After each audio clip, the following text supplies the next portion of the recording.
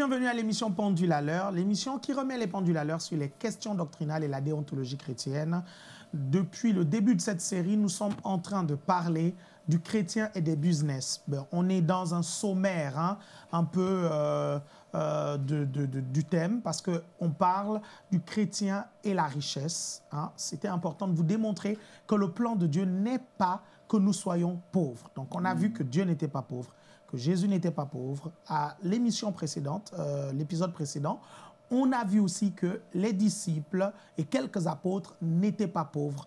Euh, et on a embrayé un tout petit peu sur des personnages de l'Ancien Testament qui étaient riches. Et on va continuer sur ces personnages de l'Ancien Testament qui étaient riches pour vous démontrer que Dieu n'a rien à voir avec la pauvreté et que ce n'est pas parce que vous êtes riche que vous ne pouvez pas être pieux. Pasteur Isaac. Bonjour apôtre, merci pour l'opportunité d'être dans cette émission Pendule à l'heure. Quelle émission très bénissante. oui, effectivement, l'apôtre euh, la volonté de Dieu est que ses enfants soient riches, nagent dans l'abondance. C'est comme ça qu'il est loué, peut être loué, peut être glorifié. Je pense que sa nature se révèle quand ses enfants sont riches. Amen. Donc, euh, je pense qu'on a dit quelque chose dans l'émission précédente, dans l'épisode précédent. on parlait de l'humiliation quand on n'est pas dans l'abondance. c'est une forme d'humiliation pour la mm. personne qui vit ça, mais en même temps, pour Dieu, ça ne glorifie pas Dieu. Mm, je mm, pense que la volonté de Dieu est que ses enfants soient riches. Effectivement, on a vu dans le Nouveau Testament beaucoup de mm. cas, comment, euh, voilà, les disciples, comment Jésus va dire, euh, vous avez tout abandonné, vous aurez des choses au centuple, vous aurez des richesses au centuple. Mm. C'est vraiment la mm. volonté de Dieu. Bah, merci, apôtre oui, on y va, hein, pasteur gentil, direct. Il a arraché la parole. on y va, on y va. Non, mais bah, effectivement, je pense que le plan parfait de Dieu pour chaque, euh, chacun de ses fils, ses filles. Et même lorsqu'il a conçu l'homme dans sa pensée, c'était la richesse. Mm. Je pense que même au moment où il concevait chacun d'entre nous, les œuvres qu'il avait préparées d'avance, parmi ces œuvres-là, il y avait le fait de devenir prospère et riche. Mm, mm, Donc euh, je pense que ça fait vraiment partie du plan de Dieu, de la conception de Dieu. Et dans la pensée même de Dieu, lorsqu'on regarde toutes ces paroles, parce que les paroles sont l'expression de la pensée, lorsqu'on regarde chacune de ces paroles, on comprend qu'il ne pense que richesse, prospérité, abondance partout où il voit, partout où il, il place l'homme. Exactement. Merci beaucoup, apôtre, encore pour l'opportunité. Mm. Euh, c'est vrai qu'on a, on a vu l'importance de. Dans la toute première épisode, on a vu que Dieu est riche, Jésus est riche. Mm. Dans l'épisode précédent, on a vu que non seulement euh, Dieu et Jésus étaient, sont riches, mais mm.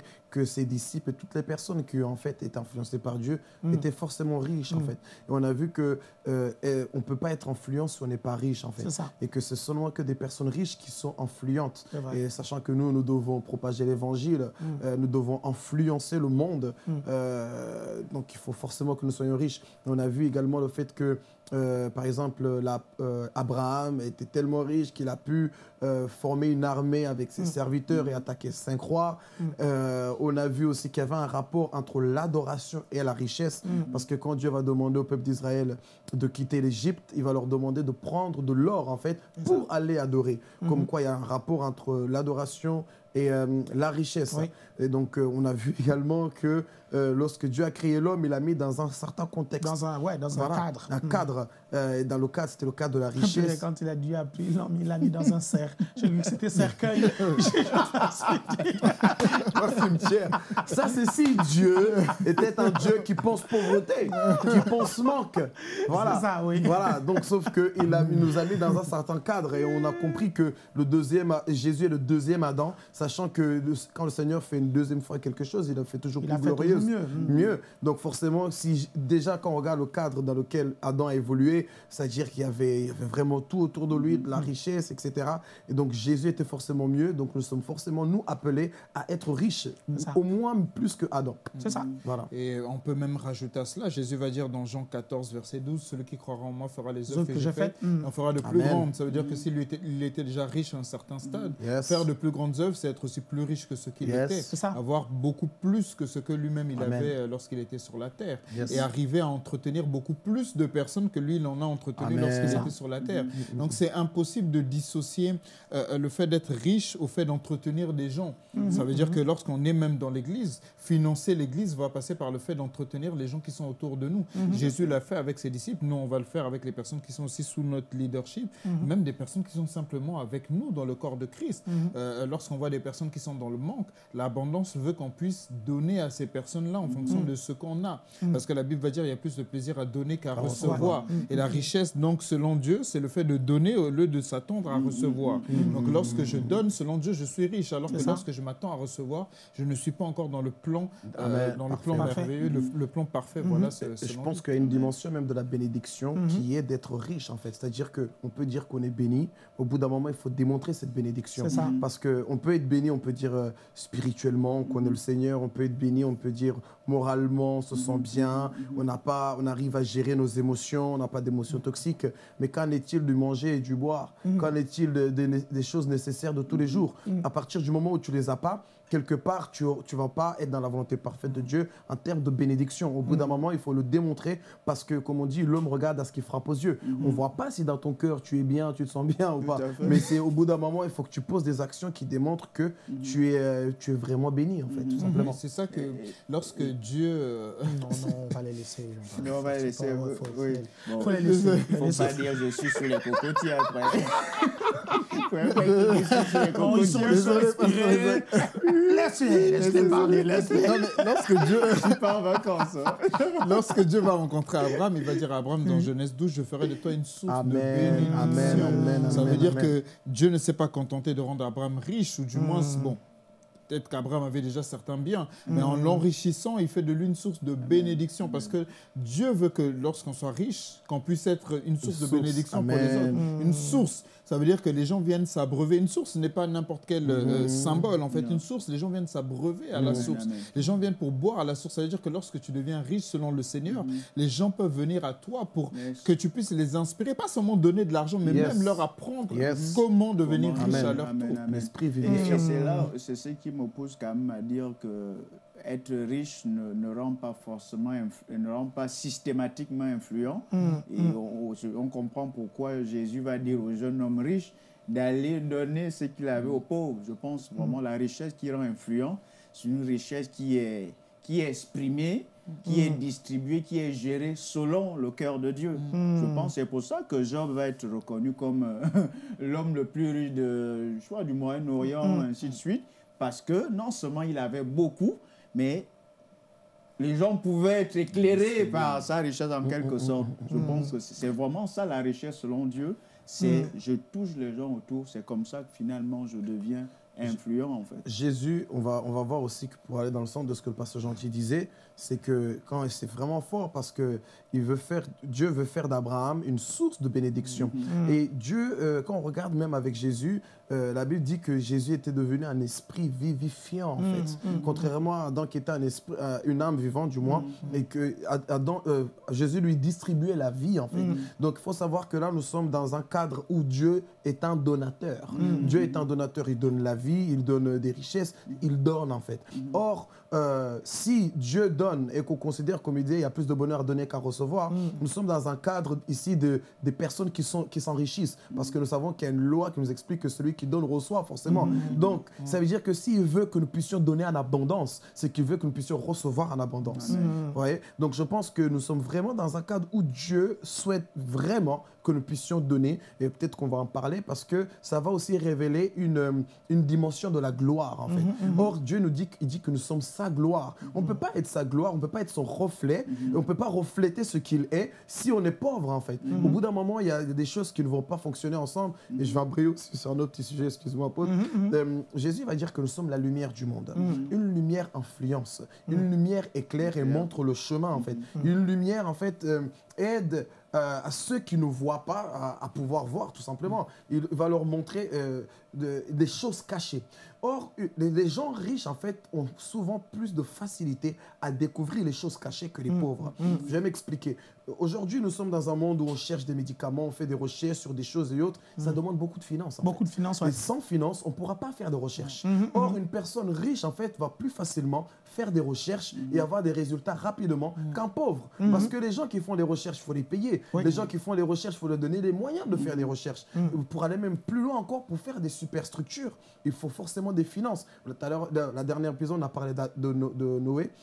Et je pense que c'est important de comprendre que Dieu veut que nous puissions être la lumière, mais qu'on puisse regarder à nous sur la base des actions qu'on a posées mhm. et sur la base des choses qu'on a faites. Or, ces choses-là ne pourront pas se faire sans finances. Nous étions en train de parler des personnages, euh, dans mhm. l'émission précédente, on était en train de parler des personnages de l'Ancien Testament qui étaient très riches. Et on a commencé à énumérer une panoplie, une panoplie euh, de personnes qui étaient euh, vraiment riches. on va parler tout à l'heure du, du, du, prophète Samuel. Hein? On va parler tout à l'heure du prophète Samuel. Hein. On va démontrer que le prophète Samuel était riche. Après, on va embrayer sur euh, le roi David. Et quand on va aller sur Salomon, ça, c'est la déchirure. ça, c'est la déchirure. Mais avant, j'aimerais vous faire comprendre que ce dont nous vous parlons, euh, les enjeux sont vraiment immenses. Il hein. ne faut pas blaguer avec ça. Parce que si vous pensez que la richesse ici sur la terre n'a pas de connexion avec la richesse qu'on a au ciel, euh, vous vous trompez.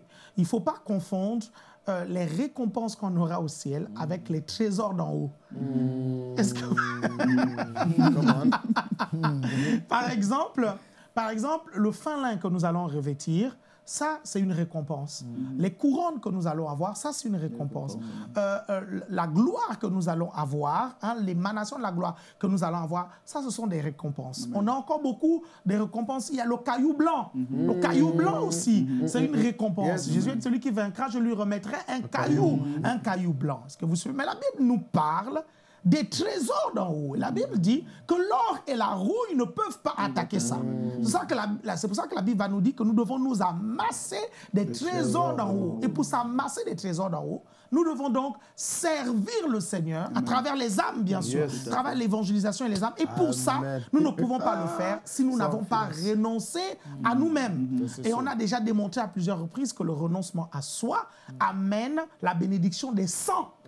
C'est-à-dire que ceux, on a, si on a renoncé à nos biens, à nos machins, on a financé le royaume de Dieu, on va avoir ça encore 100 fois plus.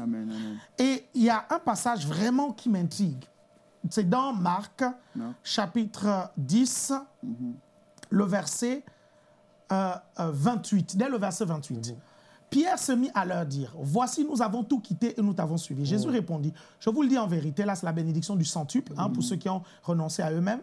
Il n'est personne qui, ayant quitté à cause de moi et à cause de la bonne nouvelle, sa maison ou ses frères, regardez bien, hein, il dit sa maison ou ses frères ou ses sœurs ou sa mère. Est-ce que vous avez remarqué le ou? Hmm. Ça veut dire qu'il y en a qui ne quitteront pas les frères et les sœurs, mais qui quitteront les maisons. Et il y en a qui ne quitteront pas euh, les enfants, mais qui quitteront les mères. Il y en a qui ne quitteront pas les mères, mais qui quitteront les sœurs. Est-ce que vous comprenez? Il ne dit pas et, et, et, et, et. Il dit ou, ou, ou, ou. Parce que en fonction de la personne, vous comprenez? Voilà, c'est pas, pas les mêmes en fait. Mm-hmm. Ça, c'est déjà une, une première chose. Et la Bible va dire ou ses enfants, ou ses terres, et nous reçoivent au centuple, présentement dans ce siècle-ci, des maisons, mm. des frères, des sœurs, des mères, des enfants, des terres mm-hmm. et des terres avec des persécutions.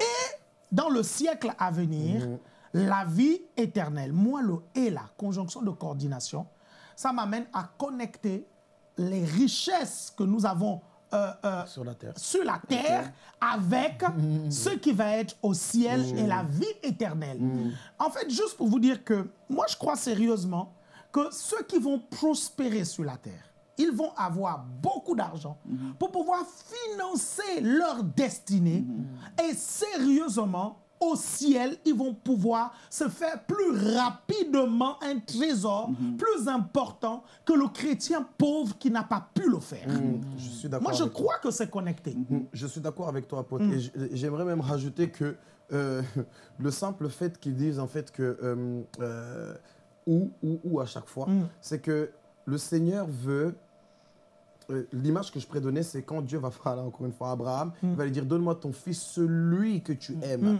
Pas juste un fils. Ça. Il y en a un, celui-là. là. Donc il y a des choses pour mourir euh, en nous-mêmes. Chacun, on doit. Il y a des choses que le Seigneur veut, Ouais. bien spécifiquement. Peut-être que toi, c'est pas les parents, peut-être que c'est les enfants, peut-être que c'est pas les enfants, peut-être que c'est les terres, peut-être que c'est les maisons. Ouais. Et, et le Seigneur veut ça en fait. Ouais. Et à partir du moment où on a su nous sacrifier et donner cette chose-là à mourir à nous-mêmes, automatiquement, c'est un acte qui est spirituel. C'est ça. Forcément, ça crée quelque chose dans le monde spirituel, en ça. fait. Phy- Physiquement, comme il dit, il y aura des richesses physiques, Mhm. mais dans le monde spirituel également. Parce qu'il faut savoir que, en réalité, euh, euh, quand le Seigneur va dire, en fait, que euh, nous allons recevoir dans le, dans- présentement et dans le royaume, dans le, dans dans le siècle à venir, la vie éternelle, et il va parler quand même du fait que si tu as reçu ici, la preuve, c'est que, enfin, la preuve que tu auras plus tard, Oui. c'est ce que tu as reçu C'est ici. ce que tu as, tu as vu, tu Parce as que si tu n'as rien reçu Oui, ici, la conjonction de coordination n'est pas, ne peut pas être liée en Parce fait, que, vu en que fait, tu n'as pas reçu ici. Le, en le fait. truc, c'est que beau- beaucoup de chrétiens ne comprennent pas ça là, en fait. Parce que quand on parle de ça,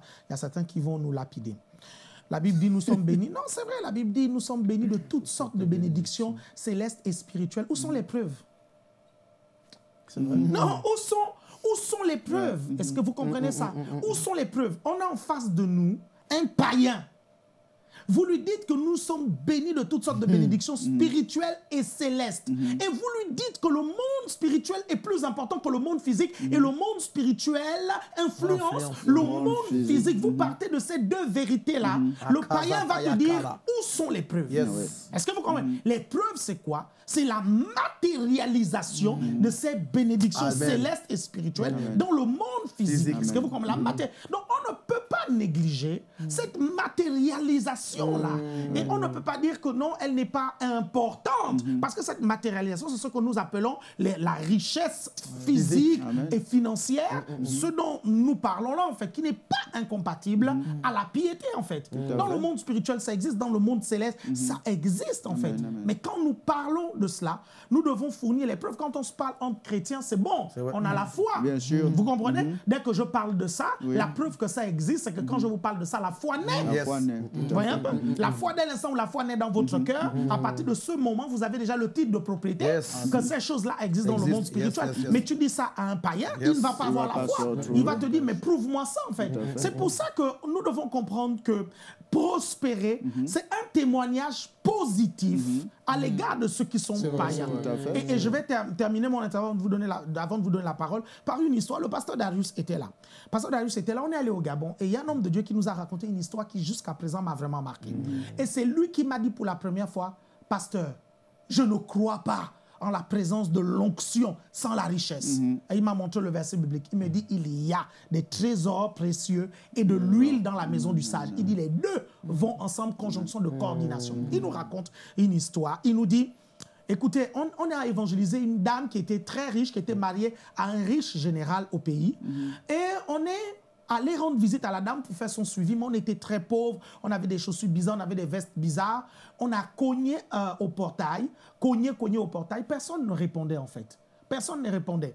Et cogné, cogné, donc le gardien ouvre, il regarde et il referme. Et il continue à cogner, cogner, cogner. Mais rien à faire. Et c'est comme ça que la maman en haut va dire au gardien, mais ouvre-les, c'est le pasteur. Il nous fait remarquer une première chose. Il dit en fait que le gardien n'a pas ouvert. Pourquoi? Parce qu'il y a plein de pauvres qui viennent cogner. Il dit, les riches, quand ils viennent voir le général, ils ne cognent pas, ils klaxonnent. My God. Il lui dit, c'est pour ça que le gardien ne sait même pas bouger, en fait. Parce que ceux qui cognent, ce sont les pauvres. Les riches, quand ils viennent, ils viennent avec leur voiture et ils klaxonnent. Et le gardien, sans discuter, il ouvre. Et là, on entre, et il dit, on entre. On commence à prêcher l'évangile à la dame et le général rentre. Il dit, le général s'assoit. Il dit, bon, vous parlez de quoi à ma femme? Et oh, ils lui disent, non, on lui parle du Seigneur, machin. Et il commence à prêcher l'évangile au général. Le général écoute, écoute, écoute, écoute, écoute, écoute. Après, il prend la parole. Le général dit, et l'homme de Dieu qui nous raconte cette histoire nous dit non. Ça m'avait donné tellement une leçon que je me suis dit non, je ne serai plus jamais pauvre de ma vie. Le général dit ok, quand vous vous regardez et vous me regardez et vous regardez euh, euh, euh, maman ici que vous êtes venu évangéliser, vous pensez que qui a plus besoin de Dieu? Vous pensez que c'est maman? Vous Quand je regarde vos chaussures, entre vos chaussures et les chaussures de maman, qui a plus besoin de Dieu? Je regarde vos vêtements. Vous êtes là, vous transpirez, vous êtes venu à pied. C'est vous qui avez plus besoin de Dieu que nous, en fait. Il dit, quand on est sorti de là, ça nous a tellement choqué qu'on s'est dit, donc les riches ne comprennent l'évangile que dans le langage de la richesse, en fait. Et là, il s'est dit, il y a une certaine catégorie de personnes que je ne pourrais pas atteindre mm-hmm. Mm-hmm. si je reste pauvre. Et dans ce que tu dis, il y a une vérité profonde. Parce que mm-hmm. quand Jésus va dire, allez, faites de toutes les nations des disciples, s'il y a des gens qu'on ne peut pas atteindre parce que nous sommes pauvres, Dieu nous demandera des comptes. Exactement. Ça veut dire quand on va arriver au ciel, Dieu va te dire, mais en fait, tu étais censé faire de toutes les nations. Toutes les nations. Il y a des personnes que tu n'as pas pu atteindre parce que tu n'as pas accepté de devenir prospère. Exactement. Ça renferme une vérité profonde. C'est pour ça que la Bible va vraiment dire, l'homme regarde à ceux qui frappent aux yeux c'est Dieu qui regarde au cœur. Donc, hein. ben, c'est sûr, les chrétiens, on est spirituels, on mhm. peut percevoir les vérités bibliques et ainsi de suite, mais ceux qui ne sont pas chrétiens, comme tu viens de le dire, ils vont regarder à ceux qui frappent aux yeux, ils vont regarder à ce qui est naturel parce que c'est ce qu'ils sont. C'est ça. Donc, euh, c'est vraiment important. Et, ça, me rappelle, je mm. pense, un homme de Dieu américain. Mm. Euh, je ne sais pas, il y a un monsieur qui est allé dans l'église et puis, comme s'il méprisait un peu, mm. après, il a vu sa maison. Il dit si c'est ça, être peut-être quelqu'un de, de, couleur. Et avec Dieu, là, non, je préfère, être, je préfère accepter votre Dieu, là, simplement par la maison, mm. comme pour dire que ben, c'est sûr que l'homme va regarder à ce qui frappe. C'est sûr, on parle l'évangile. En plus, on va leur dire que c'est Dieu, la part de qui a créé tout ce qu'on voit. Donc, euh, ils veulent voir des preuves, mm. des, paroles, ainsi de suite. Donc, mm, vraiment, c'est important de, manifester. Euh, je veux dire l'onction, de transformer l'onction à quelque chose de matériel. Comme ça, le langage. Et on voit même que c'était ça le, seulement, pas seulement le ministère de Jésus, même les disciples, il y avait toute cette démonstration-là mm. où les gens doivent voir. Je pense que tant qu'ils ne voient pas, ils n'ont pas la foi. Il faut mm. qu'ils voient. Pour le moment, c'est leurs yeux, leur sens physique et leur âme qui sont quelque part les portes de leur esprit. Mm. Il faut qu'ils voient. Hmm. Et Paul va même le dire pour hmm. amener, dans Romains 15, pour amener euh, les païens à l'obéissance, la foi. Hmm. Il a dû démontrer des choses. C'est pour ça que Dieu veut qu'on fasse des miracles. Ça s'appelle des miracles financiers, l'abondance. C'est pour ça que Jésus, quelque part, va multiplier les peuples plus d'une fois. C'est ça. Quand il dit ma parole, quand l'apôtre Paul dit ma parole et ma prédication ne reposait pas sur les discours persuasifs de la sagesse humaine, mais sur une démonstration d'esprit et, de, puissance. Je pense que notre ministère est appelé à tout démontrer. Amen non seulement démontrer qu'un paralytique peut se lever, mhm, mhm. mais démontrer aussi que Dieu est capable de rendre un pauvre riche et que Dieu est capable de pouvoir combler les besoins des gens. En fait, il faut le démontrer. C'est vrai parce que de toute façon, Jésus va, va quand même dire à Pierre d'aller pêcher. Il trouvera mhm. euh, l'argent dans le poisson. Je suis désolé, c'est une démonstration de puissance. Quand il va dire j'ai ton filet de ce côté-là et qu'ils ont attrapé beaucoup de poissons, démonstration de puissance. Démonstration de puissance en rapport avec, les affaires. Les, affaires, les finances. Avec les finances. Parce que le poisson là, ils sont pas allés manger ça. Hein. ils, sont pas allés manger ça. Ils l'ont vendu. Hein. C'était un business. Jésus a opéré un miracle pour le business de Pierre et les autres pour qu'ils aillent vendre et avoir de l'argent. Pour faire shifter leur business. Pour faire shifter leur business. Mais très souvent, en fait, on pense que la puissance de Dieu, c'est seulement pour les guérisons, etc. Mm-hmm. Et une fois, j'avais expliqué que les guérisons et les, le fait de chasser les démons, c'est le béaba du chrétien. Mm-hmm. Parce qu'il va dire, voici, euh, quand Jésus va envoyer les disciples, il va dire, en fait, voici les signes qui accompagneront ceux, qui, auront cru. Mm-hmm. Autrement dit, c'était la preuve pour savoir qui a cru ou pas. C'est tout. C'était pas pour les disciples qu'il a dit ça, parce que les disciples savaient déjà guérir les malades, savaient déjà chasser les démons. Donc, il va dire, ceux qui croiront seront baptisés, ceux qui ne croiront pas seront condamnés. Et voici les signes qui accompagneront ceux qui auront cru. Pour savoir qu'ils sont vraiment crus, il va falloir qu'ils chassent les démons, qu'ils parlent des langues nouvelles, qu'ils guérissent les malades, etc. etc. Donc, ça, c'est le béaba du chrétien. On doit vivre une vie supérieure où nous, nous investissons en endroit et parce qu'on a investi, Dieu fait en sorte que les finances viennent. Où on doit mettre des choses en place et multiplier des finances. Et je pense que tant qu'on ne comprendra pas que le Seigneur, je pense, d'où l'importance de cette émission, que le Seigneur Seigneur veut que nous puissions nous enrichir, nous sommes en train de bloquer l'évangélisation. Nous sommes en train de bloquer le salut. Mhm. Comme le pasteur Gentil l'a dit, on ne pourra pas aller prêcher l'évangile à toutes les nations mhm. s'il y a des gens qui ne pourront jamais nous écouter. Mhm. Parce que pour qu'on t'écoute déjà, il va falloir que, quelque chose au niveau de ton apparence donne envie de t'écouter. Parce qu'il y a des gens, lorsqu'ils allument la télé, ou bien lorsqu'ils vont te regarder, ou bien lorsque tu vas venir leur parler, tout de suite ils se ferment. D'où le fait qu'il faut d'ailleurs évangéliser par euh, les, les connexions, les amis. Pourquoi? Parce qu'il y a déjà un lien. Mm. Mais pour qu'ils t'acceptent comme ça, sans te connaître, mm. c'est qu'il y a quelque chose qui doit les attirer. Donc on doit être riche. On mm. est J'ai envie de dire, ça va peut-être un peu choquer. Ne pas être riche, c'est un péché. Mhm. Ah ouais, quand on dit ça aux gens, quand on dit ça aux gens, quand on, dit ça, le, le, problème, le truc, c'est qu'en fait, c'est important qu'on aille jusque, jusque là où les gens doivent comprendre. Vous savez pourquoi? Parce qu'en en fait, Dieu nous a donné tout ce qui contribue à la vie et à la vie. Et si on n'utilise pas ça, en fait, vous comprenez? Euh, Non, ce n'est pas bien. C'est pas bien. le péché, c'est quoi? C'est rater la cible. C'est rater le but. C'est ça, en fait. Rater le but, rater la cible, en fait. Bon, ça, je sais que les gens peuvent nous lapider pour ça. Hein. Les gens peuvent nous lapider. Mais en fait, c'est ce que Paul va dire. Paul va dire tout est à vous. C'est ça. Vous êtes à Christ, mm. Christ est à Dieu. S'il dit tout est à vous, ça veut dire que tout est déjà à notre disposition. C'est ça. Maintenant, tout dépend de la façon dont tu vas réussir à savoir où se trouve exactement ce dont tu as besoin. C'est pour ça que je disais en, fait à une émission que Jésus a su que l'argent était dans le poisson. Mm. Pourtant, il aurait pu dire va dans un taureau et tout machin, mais il sait que où l'argent se trouve. Avec... où l'argent se trouve avec. Prends un pagne rouge et attire le taureau. Voilà. Il va cracher les il sait exactement où Dieu a tout investi en nous. C'est le pasteur Isaac qui disait ça. Euh, il a cité ce passage Or, par celui qui peut faire par la puissance qui agit en nous. Mm. En fait, la richesse est la manifestation de la puissance. C'est Celui qui est riche et puissant. C'est pour ça, qu'Abraham va pouvoir combattre des rois. Parce que la richesse va emmener de la puissance. Si la puissance agit en nous, ça veut dire que la richesse est déjà au-delà de nous. Mais dans ce cas, c'est pour ça que la Bible dit même euh, euh, que. Vas-y. Non, non, vas-y, continue. Ton Dieu, ton Dieu ordonne que, tu, sois puissant. Que tu sois puissant. Mhm. Regardez, on vous dit toutes ces choses-là, pas pour vous culpabiliser, pas pour vous dire oh là là, je manque de ceci, je manque de cela, je suis dans la pauvreté, je suis dans le péché. Non, c'est pas ça en fait. En fait, on emploie des mots durs et crus pour vous bouger, pour rêver, pour, vous réveiller. Vous suivez? Créer l'électrochoc. Vous devez comprendre qu'en communication, parfois il faut créer l'électrochoc. pour que vous puissiez dire non, je ne peux pas rester dans une telle situation. Je n'ai pas le droit de rester dans une telle situation. J'ai trop de responsabilités pour me permettre d'être pauvre. C'est ce qui s'est passé avec moi, Depuis des années, à chaque fois que tu faisais ton témoignage mm. sur comment Dieu t'a enrichi. J'étais là, j'écoutais, j'écoutais à un moment donné. Mm. Quand j'ai commencé à voir la bénédiction financière arriver, je me suis dit mm. non, je ne peux pas rester à la traîne. Il faut que je commence à semer bien plus que ce que je semais avant.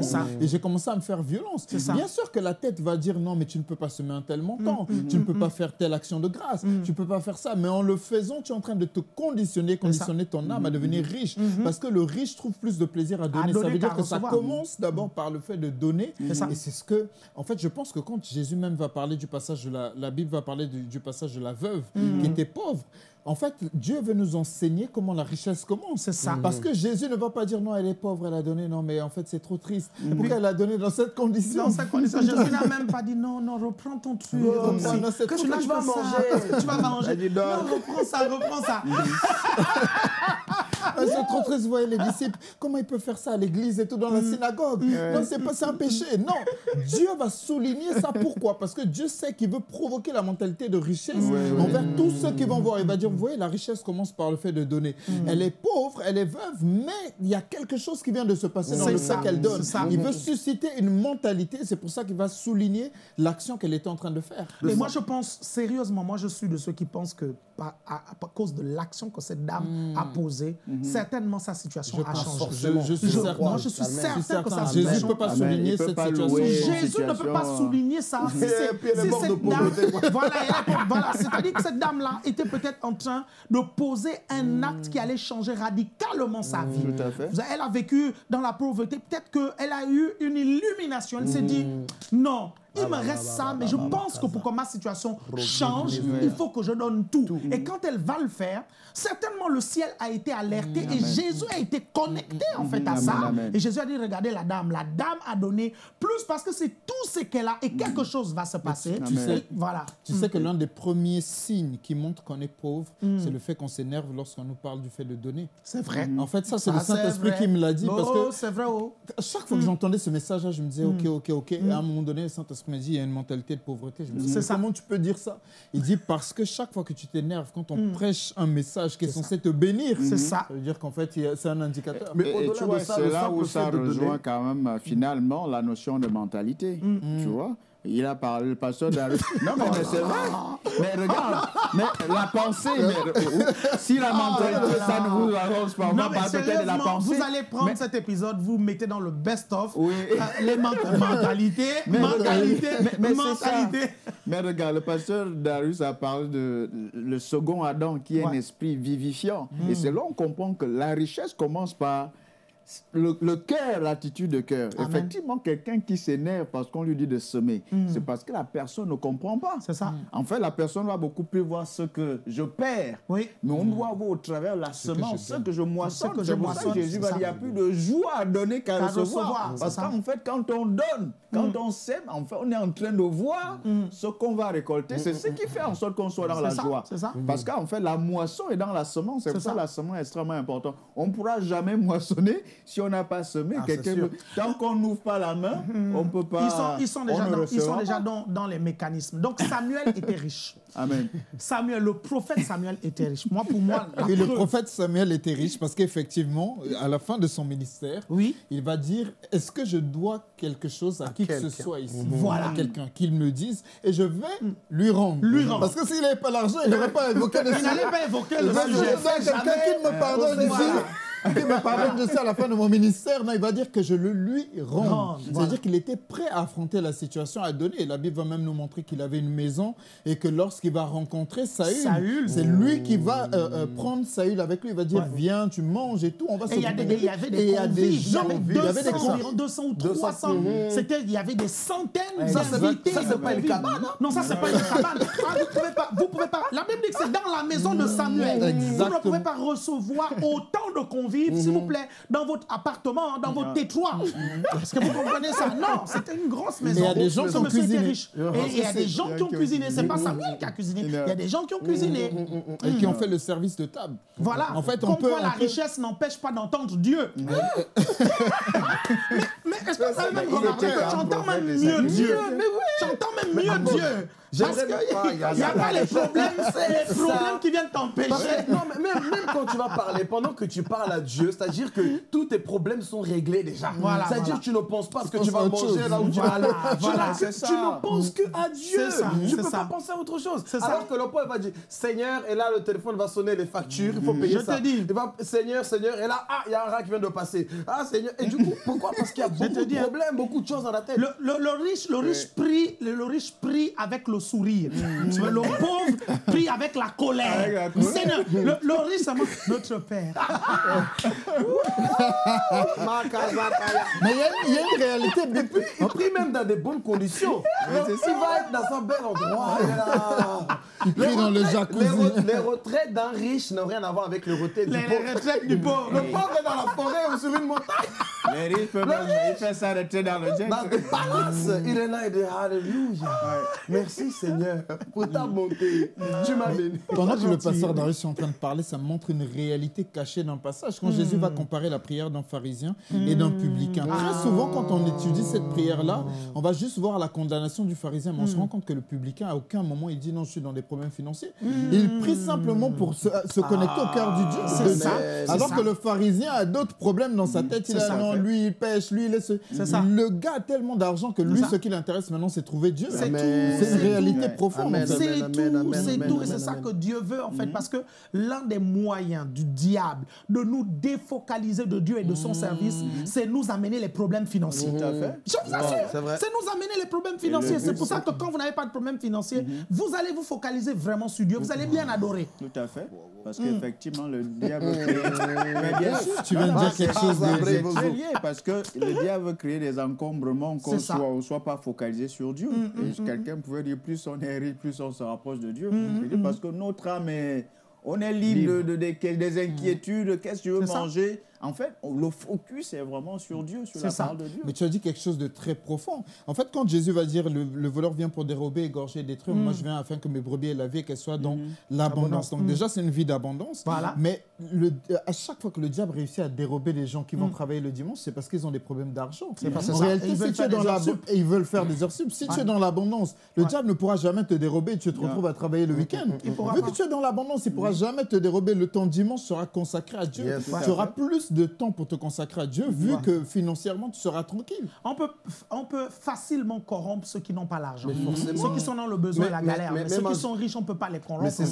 vous pensez que vous pouvez me faire des pressions sur mon message, le message que je prêche, mm-hmm. sous le prétexte de l'argent? Si j'en ai, mhm. tu ne peux pas venir me dire, écoute, si tu arrêtes de prêcher ça, je te donne 10 000 euros. Mhm. Vous comprenez ça? Tout à fait. Et c'est vrai qu'en réalité, il n'y a que ceux qui sont dans le manque qui sont forcément corruptibles. Parce que pour corrompre une personne, il faut lui donner ce qu'il n'a pas. C'est ça. Et c'est pour ça, même quand, quand le diable a voulu corrompre Jésus en disant Adore-moi, c'est qu'il veut lui donner des choses, en fait. Sauf que Jésus savait qu'il l'avait, comme le pasteur Zach le disait, il l'avait déjà, donc il ne peut pas le corrompre. Ça. Et ça, comme il dit, ça commence à à la tête. Mais au-delà de ça, mhm. il y a des gens, tant que ça ne s'est pas matérialisé, au bout d'un moment, ça ouvre une porte au diable, en mm, fait. Le diable va dire, mais depuis le temps que tu pries, tu déclares, là, c'est où? Ça, ça, ça dure trop. Ça dure trop. Et c'est là où le diable, justement, va attaquer. D'où le fait que, ce qu'on disait, qu'en disant qu'être pauvre, en fait, va même faciliter à ce que tu puisses vivre dans le péché, en fait. Mm-hmm, mm-hmm, Parce que quand mm-hmm. tu es riche, en fait, le diable va, va pas te tenter aussi facilement. Parce que tu as tout ce dont tu as besoin. Et, beaucoup de gens pensent... Voilà, beaucoup de gens pensent le contraire. Le contraire, en fait. Beaucoup de gens pensent que parce que tu es riche, tu auras beaucoup plus de tentations. Ah, Mhm. Alors que non, c'est pas ça. D'où le fait que ça vient d'abord du cœur parce que, mhm. en fait, la richesse va amplifier ce qu'il y a déjà dans ton cœur. Mhm. Ça veut dire que tu auras maintenant la possibilité de faire tout ce que tu ne pouvais pas faire. D'où le fait que euh, certains pensent que être pauvre, c'est l'humilité. Alors que ces pauvres-là, si on leur donne de l'argent, on va vraiment se rendre compte de ce qu'il y a dans le cœur. Regarde, regardez, si vous nous regardez, et depuis qu'on parle, vous vous énervez, c'est la preuve que vous avez une mentalité de pauvreté. Mais si, pendant qu'on parle, et que vous avez besoin d'être délivré de ça, mhm. si, pendant qu'on est en train de parler, mhm. vous allez dire, waouh, génial, oh, mhm. ouais, quelque chose commence à se passer dans votre vie, et vous êtes déjà mis sur l'autoroute du millionnaire. Donc moi, je vous conseille, au lieu de vous énerver contre nous, asseyez-vous, mhm. euh, étudiez ce qu'on est en train de vous dire. Vous allez voir, votre mentalité va changer mhm. et vous allez voir tout autour de vous la majorité des problèmes financiers que vous avez, ça va commencer à sauter en fait. Au lieu de vous énerver, acceptez la parole et avancez tout simplement. Vous allez voir, ça a l'air tellement facile comme nous on est en train de parler. Mais la première chose, c'est d'accepter que les, commandes de Dieu, les commandements de Dieu ne, sont, pas, ne sont pas pénibles. C'est d'abord ça en fait. Mm. Non, mais je pense qu'il faut vraiment qu'il s'ouvre et mm. euh, se dire que c'est possible. Bon, on est toujours en train de parler des personnages. Il y a un personnage qui m'intéresse également, c'est David. Le roi David. Ah, c'est vrai hmm. qu'on va dire qu'il a laissé quelque chose à Salomon hmm. et qu'il a même, on voit même qu'il a amassé, mais vraiment du matériel pour la construction du, temple, dont on parle quand même, hein, le temple de Salomon finalement. Le temple de Salomon, c'est David qui va C'est un monsieur, c'est sûr qui va avoir cette mentalité de, de, riche, mais il va vraiment s'organiser, il va vraiment générer des richesses. Je pense au temps de David, il y a vraiment des navires qui allaient, qui allaient, des navires d'or en fait, vraiment dans le mm-hmm. trafic d'or et tout ça. Donc, euh, on voit vraiment également un personnage qui était très riche et qui, qui, organisait vraiment sa richesse. On parle mm. de la connexion entre la richesse, le fait de soutenir l'évangile. Mm. Je pense aussi David en tant que roi ne simplement dit je suis roi. Bon, certainement le roi reçoit des, choses. Mm. Mais en tant que roi, il s'est mis à planifier, organiser, à fructifier sa richesse. Au point même quand il part, il va laisser vraiment du matériel à Salomon. Et Salomon, effectivement, lui, va pas s'asseoir sur la richesse de son père. À son tour, il va continuer à appliquer des mécanismes. Non, mais David, mhm. David casse carrément le mythe selon lequel, mhm. quand on a des affaires ou quand on est riche, mhm. on ne sert plus le Seigneur, on n'a plus le temps pour la maison de Dieu. Mais David casse le mythe, quoi. Le monsieur, il est très riche. Il dit, je demande une chose, une seule chose que je désire ardemment, je voudrais habiter dans la maison de Dieu. Il dit, moi, je suis dans la joie quand on me dit, allons à la maison de l'Éternel le, gars, je pense que sa richesse, mhm. euh, euh, il l'a acquise aussi par le fait qu'il était très proche de Dieu. et Dieu mhm. a fait croître son onction et son onction l'a amené à conquérir, en fait, euh, beaucoup de, de, territoires, à mhm. gagner des guerres. Et la particularité de David, c'est que quand il va faire Saül, en fait, pour aller dans la grotte d'Adoulan, il rentre à l'intérieur. La Bible nous dit qu'il trouve des vauriens, il trouve des, des personnes qui avaient des dettes, il, des créanciers. Il mhm. trouve des personnes à l'intérieur. Il ressort avec ces personnes mhm. et il en fait une armée. Et on voit dans la Bible que mhm. les, les, les gars, les vaillants guerriers de David font partie des personnes aussi qui ont financé la construction du temple. C'est qu'il a pris des gens pauvres Mhm. et il les a enrichis par sa mentalité, par son onction, Amen. par... euh, par- Mais Il y a regarder même depuis sa jeunesse. Mm. C'est-à-dire que d'où l'importance, en fait. Est-ce que c'est pas forcément lié au fait d'aller travailler ou quoi? Mm. Le Seigneur vraiment veut que nous puissions nous enrichir de façon surnaturelle. Amen. Lorsqu'il tue Goliath, Mm. il est jeune, hein, Ouais. et ce jour-là, il est devenu très riche. Il ne payait plus d'impôts. voilà, il avait, voilà. voilà. parce que Les il a reçu les récompenses. été Voilà. c'est Il a reçu les récompenses liées à l'acte qu'il avait posé. Mais ça. pourquoi il avait pu tuer Goliath à cause de sa relation personnelle avec, Avec Dieu, Dieu. en fait. Autrement dit, l'onction, au bout d'un moment, doit attirer les finances. C'est ça. Il doit attirer les finances. Parce que lui, il est jeune. L'onction n'a pas dit non, c'est un enfant. L'onction n'a pas d'âge. Non, l'onction n'a pas d'âge. L'onction, ça. ça. n'a pas d'âge. À partir du moment où il a développé un certain Jean-Baptiste niveau, a été oint depuis le ventre de sa mère. de sa mère. De sa mère. C'était un fœtus. Et il avait l'onction. N'a pas d'âge. Et donc déjà, de- dès, dès qu'il était petit, il va réussir à recevoir, l'onction va réussir en fait à l'enrichir, mais du jour au lendemain. Ça. Plus de dettes, il est riche, il, a même, il va même trouver une femme. En, en une seule journée, Il tous ses tout. problèmes vont être réglés en fait. Pourquoi? Parce qu'il avait réussi à développer une relation personnelle avec Dieu. Et c'est même pour ça qu'on va regarder, que- on va, on va se rendre compte que ça va même encore plus rapprocher de Dieu. Parce qu'il va même dire à un moment donné à la fille justement de Saül, parce qu'il dansait, il était Pour nu comme Dieu? ça, pour Dieu. amen. Il va dire, et la, et sa fille, euh, la fille de Saül se Va se moquer, va se Michal. moquer. Michal Voilà, va se va moquer se d'elle. moquer. Il va dire non, en fait, moi je me réjouis parce que c'est mon Dieu qui m'a donné tout ça. C'est ça. veut dire que plus Dieu lui donnait, plus il se rapprochait de lui. Ça. Plus il faisait des choses encore plus folles pour le Seigneur. Voilà. Mais je comprends vraiment pourquoi Dieu, même dans le Nouveau Testament, il dit vraiment que nous sommes riches et Amen. que le fait que nous, so- enfin, nous soyons chrétiens, nous sommes potentiellement riches. Je pense que ce qui fait que l'apôtre, tu l'as dit, que tu ne crois pas que quelqu'un ait l'onction en même ça. temps être pauvre. C'est Moi, ça. je pense que ça arrive à cause du fait que, en fait, les gens ne croient pas. En fait, l'onction fait de nous Oui. ce, la foi, comment dire ça Le produit de notre foi. produit produit en fonction de notre foi. En termes, si nous croyons que l'onction nous donne la santé, nous aurons la santé. Si nous croyons que l'onction peut nous rendre riches, C'est ça. l'onction va produire la richesse. Je pense que c'est- ce qui Bah, a fait vraiment la richesse de, David. David. Parce qu'il croyait, et on va le voir dans les psaumes, comment dans le psaume 89, il dit, j'ai- Dieu va dire, j'ai trouvé David, mon serviteur, je l'ai oint de mon ulcène. C'est lui que ma main va soutenir, mon bras va le fortifier, le malin, ainsi de suite. Après, il va parler des richesses qui sont sous la mer, à cause de l'onction. Je pense que si nous croyons que l'onction nous rend riches, l'onction va produire la richesse dans notre Non, vie. mais quand vous entendez un tel message, honnêtement, vous devez vous dire non. L'onction qu'il y a sur ma vie n'est pas là que pour me faire prier en langue. Non. Est-ce que vous comprenez ça Tu te dis non, parce que l'onction, on l'oriente. On l'oriente. Si vous voulez que l'onction opère dans la guérison, l'onction va opérer dans la guérison. Vous pouvez orienter l'onction pour que l'onction opère dans la prospérité. dans la richesse. On a vu l'onction de Jésus, vous comprenez, opérer dans le business de Pierre. Quand il va dire à Pierre, va jeter en eau profonde, tu vas attraper les poissons. On vous a dit en début d'émission que je suis désolé, les poissons là, ils n'ont pas mangé ça. Yes. Ils sont allés vendre. Yes, Est-ce que yes, vous comprenez yes, ça? L'onction, tu l'orientes. Tu On a même, l'orientes. on a même encore d'autres exemples. Daniel, Daniel, au moment où le roi va avoir une vision et puis il voulait l'interprétation, bon, les sorciers qui étaient là n'arrivaient pas à interpréter, il va faire un décret pour tuer tous les collaborateurs. C'est ça. Daniel va dire non, ne faites pas ça, donnez-nous un peu du temps. Il, va, il va se retirer avec ses compagnons, ils vont prier, ça c'est l'onction. Ils vont prier Dieu, ils vont dire c'est toi qui mettais le temps, les circonstances. Ils vont prier et Dieu va révéler la vision et l'interprétation. Après cette interprétation du- de la vision du roi, le roi va leur donner des, richesses. Les- et ça voilà. va se multiplier le livre de. Daniel. Voilà. Encore une fois, l'onction.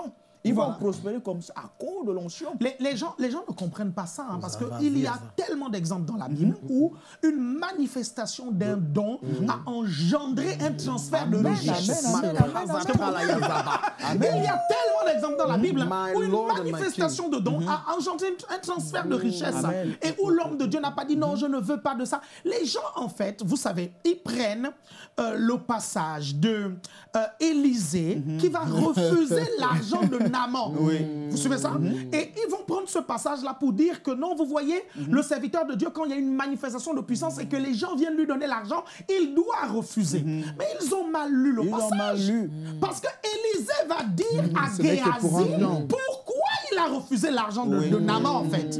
Parce qu'en fait, plus tard, peut-être quelques jours après, il y a une guerre qui va se faire entre Israël et les Syriens.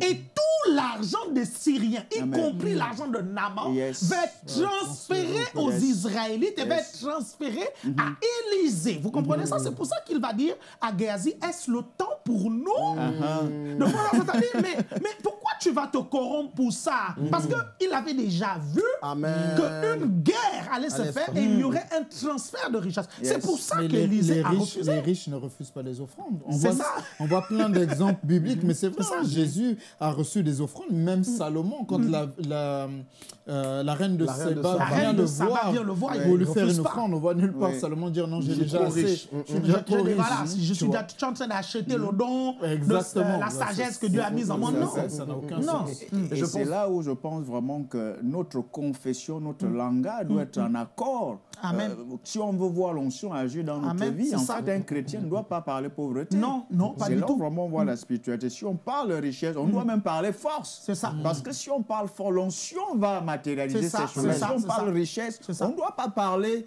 euh, ce que Dieu ne demande pas. On doit parler de la richesse, la force. Non, mais, non, mais je, je parlais, excuse-moi, je parlais avec un, serviteur de Dieu qui m'a mhm. appelé euh, il y a quelques jours de cela et, j'étais à Clermont-Ferrand avec mes enfants. Il se met à m'appeler, tout ça.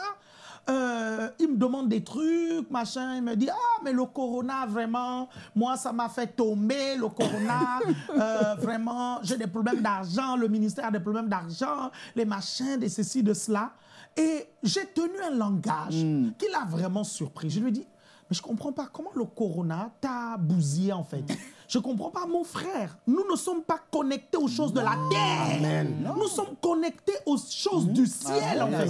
Le corona, c'est pour les gens de cette terre. Mm. La crise nue au corona, c'est pour les gens de cette terre. Nous, nous sommes connectés au ciel. Et là, il me dit, ah, mais mon frère, donc toi, le corona n'a rien fait. Je dis, frère, pendant le corona, ça a triplé, ça a quadruplé. Et là, il a crié, il ne me croyait pas. Et quand, sérieusement, il me dit, ah, quitte là, les pasteurs, ils aiment trop raconter.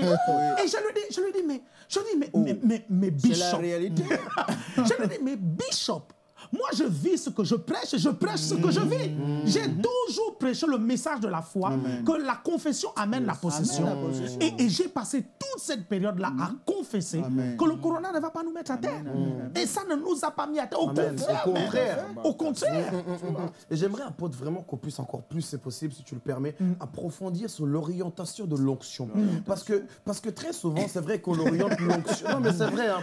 Parce que l'onction n'a pas d'âme, en fait. Mm, l'onction, l'âme de celui, qui le porte. Alléluia. Et j'aime parce que souvent on l'utilise au niveau des guérisons, mm. on l'utilise au niveau de certaines choses, mais mm très peu de, très, peu de fois dans les business. Dans les business, Dans les business. Et je pense que les résultats qu'on n'a pas dans les business, c'est mm. qu'il y a un manque d'onction. C'est ça. Et j'aimerais vraiment qu'on mm. puisse parler de ça, comment on peut déclarer, comment on peut orienter l'onction là-bas. Parce que quand on regarde dans la parole de Dieu, comme tu l'as dit, à chaque fois qu'on oriente, a orienté l'onction dans les business, les, business ont prospéré en fait. Mm. On, voit l'exemple justement de Pierre, même l'exemple d'ailleurs de, de la veuve en fait, à qui on a demandé de ramener des vases mm-hmm. euh, parce qu'elle était en train de s'appauvrir donc on a rempli, elle a rempli euh, les vases du peu d'huile. Elle allait faire quoi? Elle allait vendre. Elle allait vendre en fait. Elle allait vendre. La voilà business. devenir. On a développé. Le chrétien, les business. Juste parce qu'elle a provoqué l'onction tout de suite, il y a un business qui s'est créé. C'est ça. Et elle est devenue euh, propriétaire du business. C'est ça. Elle s'est enrichie pendant la famine. Pendant la famine. Pendant la famine. Pendant la famine. My God, on va vous expliquer tout ça dans les prochains épisodes. Parce que bon, le temps est, largement dépassé. Donc, ça promet vraiment. On va entrer en profondeur. On va vous expliquer comment orienter l'onction dans vos business, comment amener la richesse. Je vous assure que sa divine puissance vous a donné tout, ce qui contribue à la vie et à la piété. On a l'impression que sa divine puissance nous a donné que tout ce qui contribue à la piété. et en parlant en langue. Tu vois, et en parlant en langue, à la piété, à la piété. Parlant en langue, le jeûne, tout ça. Hein. Mais non, gloire au Seigneur. L'émission s'appelle Pendule à l'heure. J'étais avec le pasteur Isaac, le pasteur Gentil, le pasteur Darius. Euh, si l'émission vous a plu, je vous invite à vous abonner maintenant à la chaîne YouTube et à nous soutenir à travers le numéro de téléphone qui s'affiche maintenant par WhatsApp. Nous allons continuer cette série euh, au prochain épisode. Restez connectés sur Évangile TV, restez connectés sur l'émission Pendule à l'heure. À bientôt.